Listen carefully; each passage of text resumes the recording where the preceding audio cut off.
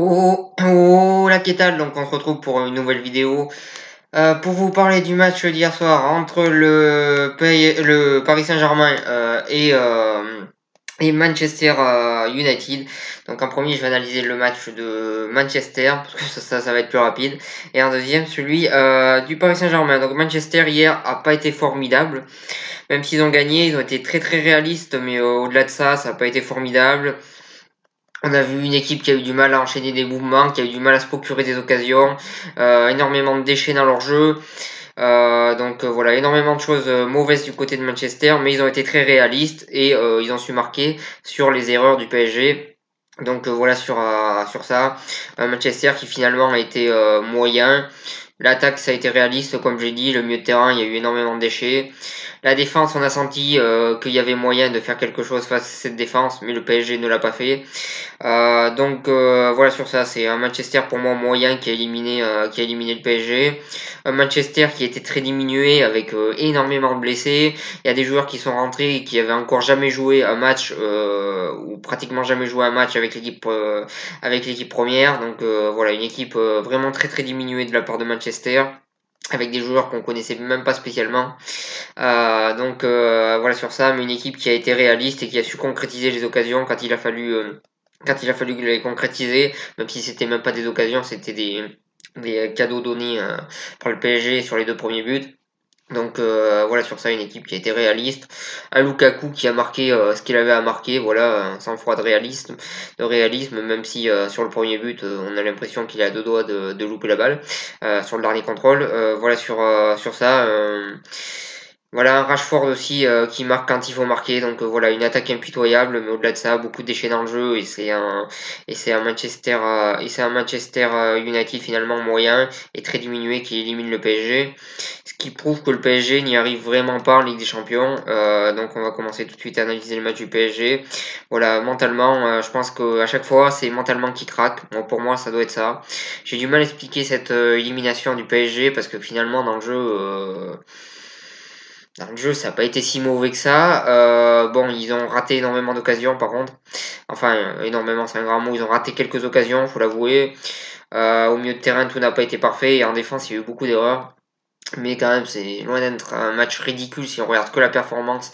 Euh, si on regarde que le, le match en lui-même du PSG, sans regarder le résultat.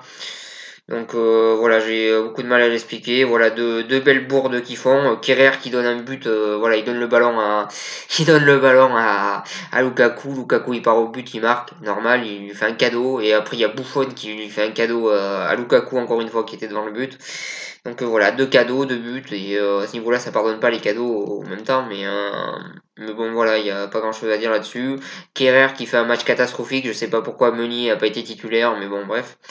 Euh, voilà sur, euh, sur ça, une défense centrale qui a été assez moyenne quand même. Bernat euh, qui a fait un bon match par contre, une belle trouvaille de la part du PSG.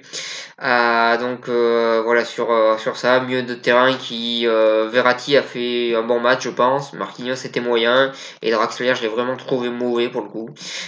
donc voilà pour le milieu, Daniel Alves il joue pas à son poste, je sais pas qu'est-ce qu'il fait à ce poste là, mais bon bref. Euh, donc voilà sur ça, un Di Maria qui a été moyen et un Mbappé qui a énormément vendangé. Euh, donc euh, voilà sur, sur ça, un PSG encore une fois éliminé dès les huitièmes.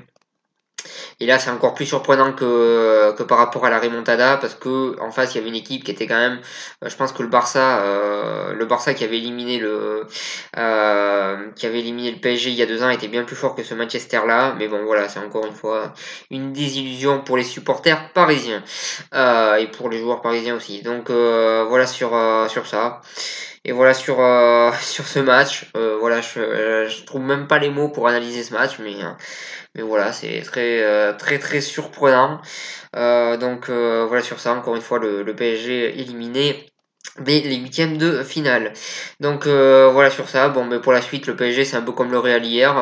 ils n'ont plus grand chose à jouer. Le championnat, ils sont sûrs de le gagner. Et la Coupe de France, ben, ils pourront la jouer et essayer de la gagner. Je pense qu'ils vont tout faire pour la gagner, qu'ils vont la gagner. Voilà sur ça, voilà ce qui reste pour le PSG. Je souhaitais juste revenir sur euh, Tourelle. Alors, euh, quand Laurent Blanc a perdu euh, en Ligue des Champions, il s'est fait massacrer par la presse et par tout le monde. Quand Unai Emery s'est fait éliminer et a perdu, il s'est fait massacrer par la presse. Donc, euh, je pense que Tourelle pourrait aussi se faire massacrer dans la presse, ça serait pas totalement démérité, surtout quand on voit que Daniel Alves se retrouve euh, aussi haut, euh, alors que c'est pas du tout son poste. Donc voilà, je pense que Tourelle a ses responsabilités, je pense que les joueurs l'ont aussi, et je pense que voilà, tout, tout le monde est responsable, mais Tourelle fait partie des responsables. Et euh, voilà, je pense que vu que les autres entraîneurs se sont fait massacrer, je pense que lui euh, pourrait euh, vivre la même chose et ça serait pas totalement démérité non plus. Donc voilà sur cette analyse, je vous remercie de m'avoir suivi et je vous souhaite une bonne continuation.